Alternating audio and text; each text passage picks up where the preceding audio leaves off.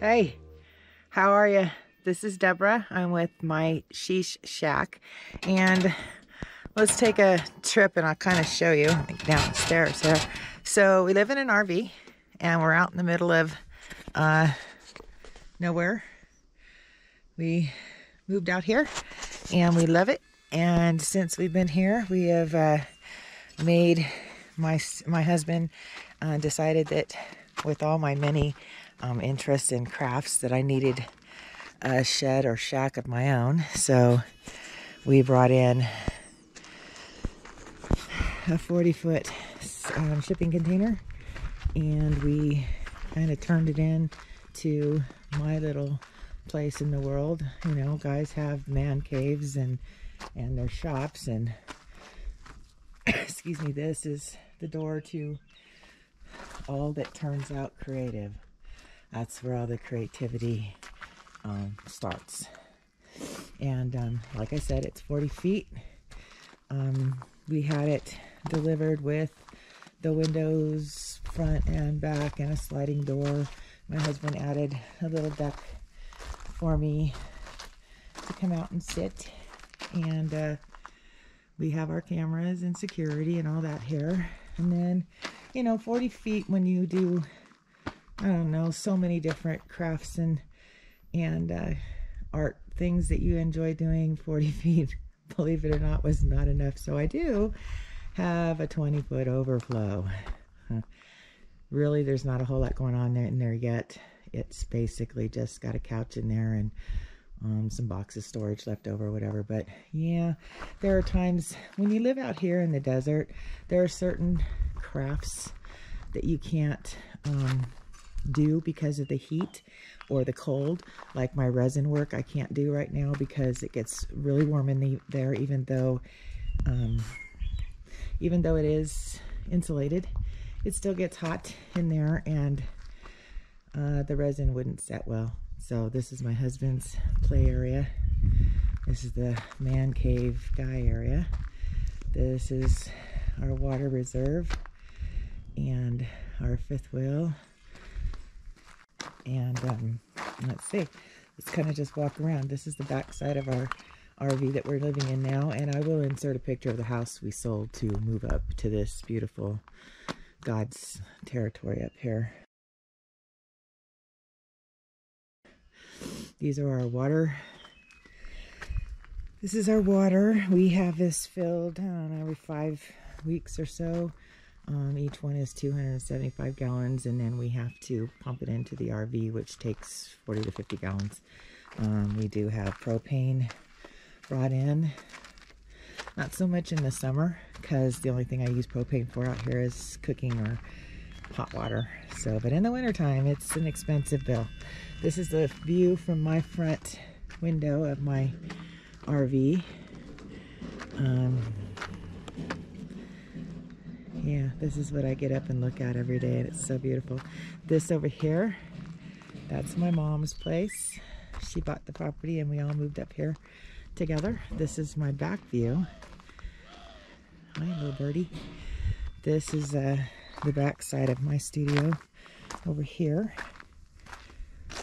This is my view. If you can see, I do have two nice big picture windows here that I put there intentionally to face this direction. Uh, so that's my inspirational view when I'm in there being creative. This window is my Nomi station. I decided to split my studio into stations. It made it easier when unloading all my craft, my mini Michaels, you know, mini Joannes that I have.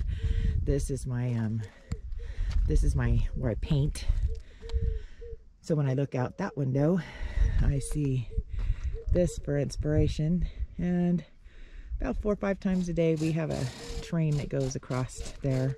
And I love it because when we were down in the city we had no trains no train tracks didn't even hear a train or see a train.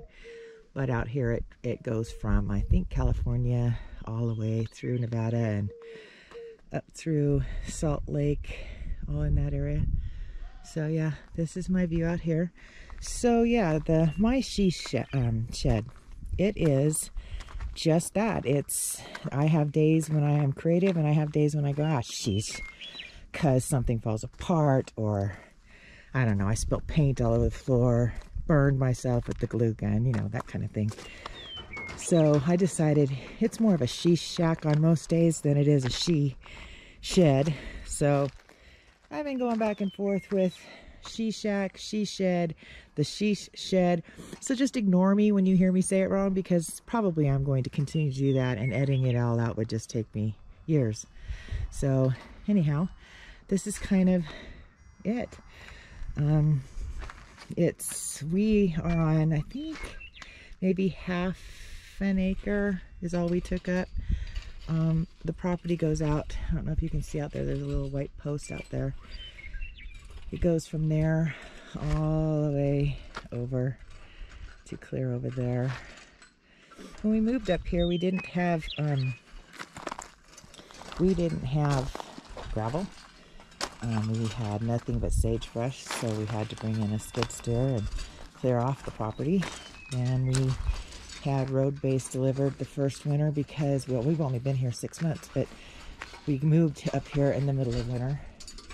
And uh, yeah, the snow and, and the rain and all that left a big old muddy mess and we were getting stuck except when we're, we didn't get stuck in that particular vehicle, but my husband's pickup truck we did and uh, my mom's car got stuck so we had to bring in road base and gravel and um, we asked for half inch gravel I think delivered and we got this big old boulders like some of them are four inches so it makes it a bear to walk on so we just started driving over it back and forth back and forth and let me tell you that can be fun but you know it's um, to walk on it is crazyville so then after we did that, we had the Conexes, the first Conexes we had delivered, or the shipping containers, whatever you want to call them.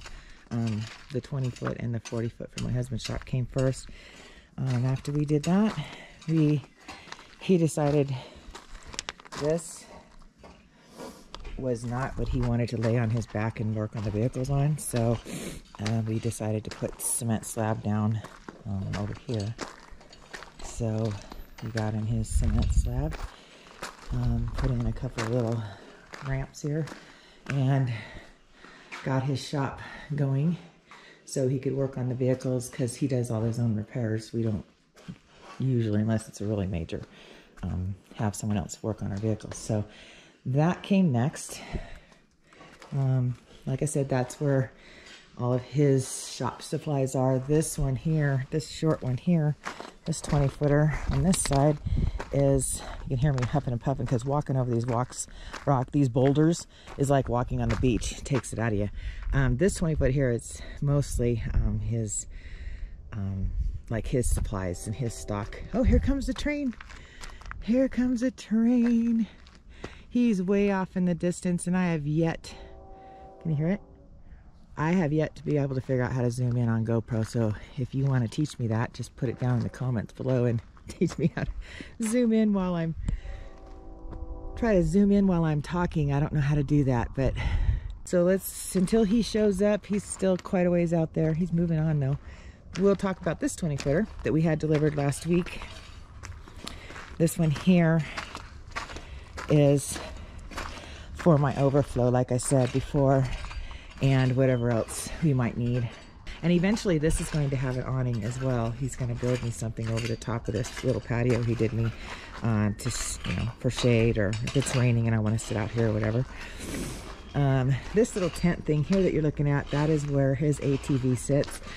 This over here, one day I will get into that, how much we paid for it what a disappointment it's been and I'll even announce at the time when I get it settled what company I bought it from. So all I can tell you from looking at it, don't buy one. Don't spend the money on it. Okay, here's the train. Here's the train. He's so cute. I know trains aren't cute, but to me they are because I was robbed of them for 22 years. When I lived in California, and, you know, there was always train tracks and stuff, but when we moved here to Utah, I never got to see them. So now I get to see it go right across the landscape. And it, it's just so cool. I'm sorry. who doesn't like trains? I mean, unless it's going through your backyard or your front yard or something, or they've relocated you because of a train. I don't know why you wouldn't like trains. So, anyway, there's my beautiful back landscape. Let's take a trip inside the shed so you can see. Sorry for the switching you around. So, yes, we'll go inside the shed after I climb over the boulders. You know, I really had to learn to wear hiking boots out here. I'm sorry, but what we need to do is hire someone or go rent one of those things that crush gravel. what are they called? Sheep sheep's feet or something like that. Let's go in here. Let's go in here. Okay, here we go. So let's flip on some lights. Like I said, when we got this, we had them install the windows, the doors, and this man door that I just came through, and also electrical lighting because um, it was not good running a generator and all that good stuff. So it is hooked up to lighting. We had a box put in, which we had an electrician come out and run out to our poles. Um, when we did finally, when we first moved here, we did not have, um, we did not have electrical poles. We were running the RV off a generator and propane and solar panels. And we decided in the wintertime up here, that's almost stupid because the, where we had to go get propane was like 22 miles away and uh, in the, in the wintertime that was a drive in itself and then uh, generator having to keep track of that and then if it's cloudy you don't get your solar it was too much so we found out that we could actually put power poles up here we did my mom did and we all enjoy a power pole now so that's nice um, but this is the end right here. This is my food prep area. Yes, we're preppers. Um, I try to stock food in the freezer. I try to keep stuff on the shelves. This table here is waiting for my freeze dryer from Harvest Right, which is, um, I think I'm still five weeks out or more from getting it. And then I'll start um, getting the freeze dryer thing going because these over here those are getting way expensive, people. When I first bought the scrambled egg mix, it was, I think, $18.99 for that can, and now it's gone up to almost 60 bucks, 70 in some places. So freeze drying my own stuff is going to be awesome. Um, I'm getting half a cow, well, a third of a half a cow. We bought half a cow and we're splitting it with my mom and some friends. But as I was saying, we did, we are getting um, a third of a half a cow. And so we're trying to get my freezer between now and hopefully next week cleaned out so I can put all my cow in there. But yeah, this is, and um, I put little room dividers in here to kind of separate my sections. This right here is my Nomi station, and that's my view. Uh, this is where all the fun Nomis come from. This guy here, as I was telling you, it gets hot in here. These fell off it got so hot in here. It got so hot in here that it melted the glue and I have to put poor Mr. Nature Nate back together again and I will. He'll get fixed. But yeah, this is my Nomi section and I do have a divider here too. These are the neatest room dividers. They have little shelves on them. I got those off Amazon um, to separate my areas. This is my new Nomi carpet. Isn't he? Isn't that the cutest thing you've ever seen?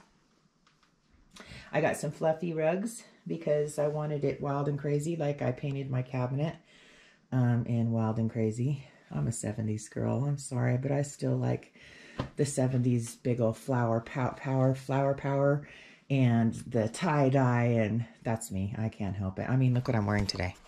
Okay, I mean, denim and, you know, I look like something lost in the 70s, right? Anyway, this here is my resin station. Resin and my paint pouring. I found out paint pouring is a blast and the messier it is, the more fun it is. And so this is where I will be doing my resin work. Um, and all my resin stuff are in this particular section. But see what I mean? When I split it up, if I were to just throw everything in one area, it would be harder to work on something or at least get interested in working in something. If I do it this way, I can say, okay, I, today I'm going to do resin and I know that all my resin stuff is right here. I don't have to wander to and fro trying to find it. It's all where I need it to be. This is where I house my Nomi family.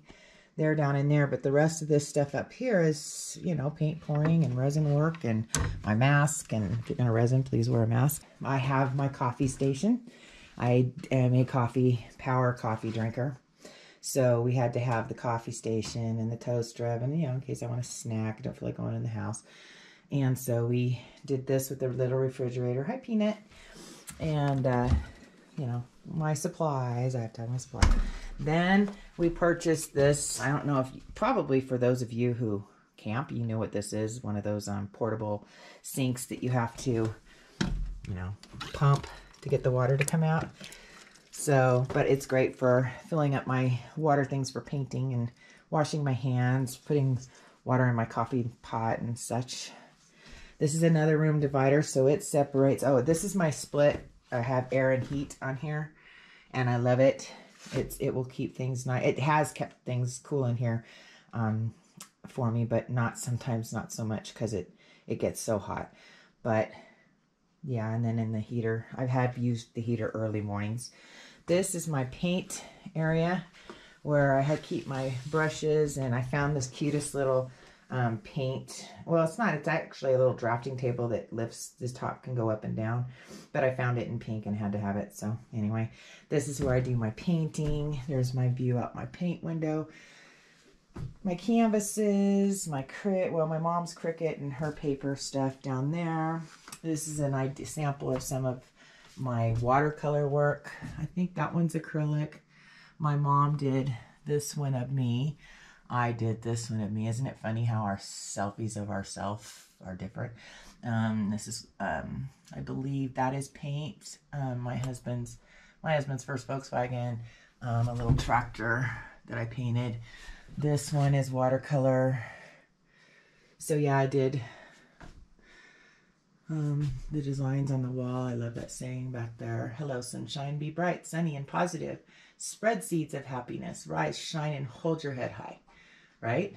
This is my felting area and my diamond painting area and I sew here. So we brought this dinette set over from the house because it was useful. It's got storage under the seats.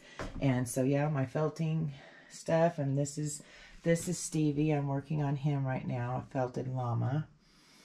Um, I, in another video, you'll see my diamond paintings and some of my gnomes and whatever, but yeah. And then this here is my paints and my polymer. Of course, we have to do polymer clay as well. So we bought a polymer clay oven off a really super sweet person on Mercari.com. She sold it to me really at a great price, brand new, never been used. This here is my, this here, there's a sample of my resin work. Um, it's a basket. I did these bread coasters. They were wooden bread pieces. And I did a set of six and did them in the C, like a strawberry C type thing. So that's a sample of some of my resin work. But this is kind of my office workstation slash where I sit and do my watercolor that I'm going to be working on with my Tombow pens and my water pens. If you haven't used those, those are awesome. Um, so yeah, this is kind of that area. This is Howie. He's my gnome. You know, you buy these and you put them behind your seat in the car, but I decided why waste him in my car? I can enjoy him in here. So anyways, that's that. I think that's about it. Um, the flooring, we bought this unit brand spanking new. Um, with, you know, and, and but we bought it also in a nine and a half foot high rather than an eight foot standard eight foot shipping container. It's nine and a half feet. Um, I don't know if so much of that foot and a half makes a huge difference or if it was a deciding factor, but it was only, it wasn't that much more to get a brand new one rather than when it's all beat up from the shipping yards, you know, and from the docks. Excuse me. So, um, yeah, that is kind of a rundown of of me, Deborah, or Brishie, as I'm known in on some sites, um, and what we're doing up here. I will do a separate video of um, all the other reasons why we moved here, and then obviously I'm going to share with you when I start to create things and stuff. But real quick because I know I'm going to get questions because I had questions when I first bought a 40 foot. I mean, you have this 40 foot container delivered to your property and, and it's all raw, except in my case, I was very lucky and had windows and stuff installed for me because I didn't want my husband to have to spend his retirement doing that kind of work. It's a lot of work. As it is, we did the framing in here and we did the um, insulation and the drywall. So we didn't drywall the ceiling and insulate the ceiling because they weigh those pieces weigh like almost 100 pounds 80 to 100 pounds a piece and lifting those up over your head heavy you know we're too old for that so um, we didn't insulate and drywall the ceiling because the ceiling is like brand spanking new why would i want to I, we'd have to have worked around the the lights and the electrical wiring that goes from light to light, you know, and so we just we didn't want to mess with that. So anywho, let's do let's do a breakdown of um, what it cost and stuff. So the the container itself was seventy seven hundred dollars, brand new. Okay, that's with nothing. That's just a raw shipping container, forty foot, eight feet by forty feet. Then we added a sliding door then we added a man door that you saw me come in. We added the two large picture windows and the small, um, the small little window above my my watercolor desk. Okay, and then we added, um, we added. Oh, we bought the metal framing instead of wood for wood framing because metal framing much easier to handle. It's lighter weight, and you get to cut it so the shipping container with the windows, doors, blah, blah, blah, right, that I had it delivered was $11,882, okay, delivered. Then we put a 1000 into the metal framing. We put 800 into drywall. We put uh, 800 into insulation. Um, we used the rolled installation, the silver stuff that looks like something you put in your window in the summertime, you know, only it was this closed cell and that ended up costing let's see the insulation was 800 and then we had the electrical installed by the shipping container company and they charged us $3000 to run this through with um, four power outlets or plugs or whatever you want to call them on each side and our light switch the box the lights above the lights above my head that you saw that was three grand that's something else you can do on your own, or if you have someone in your family or know someone who can do that for you, hey, take advantage of that. Um, the electrician that we had to call to get us from this unit over to our power pole, that was $2,300. You had to dig a trench. It had to be down, I think, 18 inches um, to be to code. And so now I walk in, I flip on the light, and it runs off my power pole. Um, so the total cost of this unit without decorations, without the curtains and the flooring and you know the carpets came to $19,782. Now, you break that down, if I had built myself a little hut, first of all, probably wouldn't have been big enough. Two, it would have been way more than that for something way smaller than this. So yeah, it was almost just let's just call it 20 grand. That's what it was. And but I love it. It's my place. It's my she cave, my girl cave, my lady cave, whatever you want to call it. She shed, she shack. It's mine. I have a place to come um, when I, um, you know, get tired of being in the house and there's nothing else to do. I come out here and sometimes I just come out here and sit. I just sit here at this desk and contemplate my world. And I look out there and I see my beautiful world and I'm glad that I moved up here. Um, well, let's see. What else is there to discuss? If you're going to sell a house and move out to, you know, rural, whereverville you that, that you live, ruralville, somewhere in whatever state, um, plan on it. You know, my husband got to retire two and a half years early because we sold the house and were able to use some of that money to pay off um, our bills. So he was able, I'm like, hey, we don't have any bills anymore. We're going to live up there scot free, basically. Everything's going to be paid for. So why not retire? He was a, a, heavy equipment mechanic and he was getting tired physically. His body was fighting him every day because that's a tough, tough job. He'd been doing it since he was 16 years old and he was very lucky at 62 to be able to retire. Um, that's a lot of years on your body with that kind of job. So we did, but you know, we came up here and um, used a lot of our money that we sold the house to pay the bills off and to buy the things that we needed up here to make us comfortable and enjoy this view and not be miserable. And we were very fortunate. We were not fortunate. We were blessed by God, seriously, to have the opportunity to do what we did. And if you're going to do something like this for yourself and it's something, you know, you dreamt of doing, then hey, you know, sorry for the finger thing. Um, I say do it. If you can afford to do it and don't be afraid, just do it. You know, plan it. Plan it ahead though. We did sketch this whole property out and between where mom um, was set up over there and what kind of space she needed. Then we took the other side, the other corner of the property and design it out first. Plan it, write it down. Say, okay, I want my shop here. I want my RV here. I need my water there, my propane there. Um, find out whether or not you can get power because if if you're an expert a pro camper and stuff and you can deal with propane tanks and generators and and solar lighting hey i give you a ton of credit because I couldn't. I'm I'm a city girl. I came from Southern California. Okay, so to, um, being able to walk into a room and flip on a switch was important to me. Being able to turn on my water, flush my toilet, and take a shower. My unit does have a washer dryer in it. Yes, I'm a spoiled brat. I'm sorry, but there's just some things that I have to have if I can. I mean, I've learned. I've learned through help of friends and family how to do without it if I have to, if the power goes out or you know, for some stupid reason, I don't have those luxuries. I know how to live that way. I just prefer not to live that way. But those that do, you guys are awesome. You guys who are truly off the grid and making your way um, every day through what you have to go through, I, you guys are my heroes. Seriously, that's a tough way to live. And those that do that, don't mess with them. They are tough people and they will put you in your place right now. They can handle themselves.